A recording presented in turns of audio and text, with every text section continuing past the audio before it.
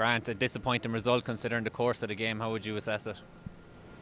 Um, no, obviously, as, as, you've said, they're disappointing considering we were a couple up at half time.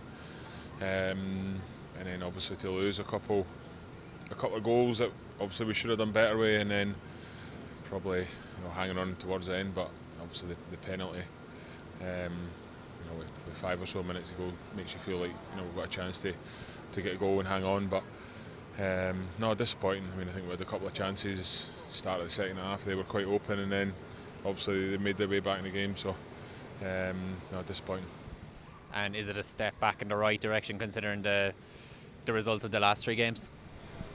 I, think so because um, you know obviously with three defeats on the spin, it's um, you know for us that's obviously a, a, really bad run in the championship. So you know it's, it's a positive in terms of stopping that run of results, but you know at the same time we knew it would be difficult coming here, but we felt it was a game we could you know take the three points from and.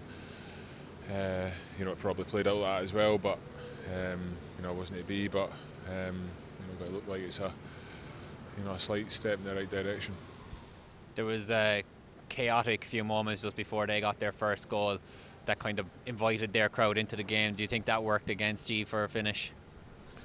Uh, you know, possibly, but you know, we're, we're, professional footballers, and you come away to grounds like this. I don't think you can put it down to the, the, the crowd. You know, we have to stand up, be men, and uh, you know, roll our sleeves up and, and stay in games and stay on top of games.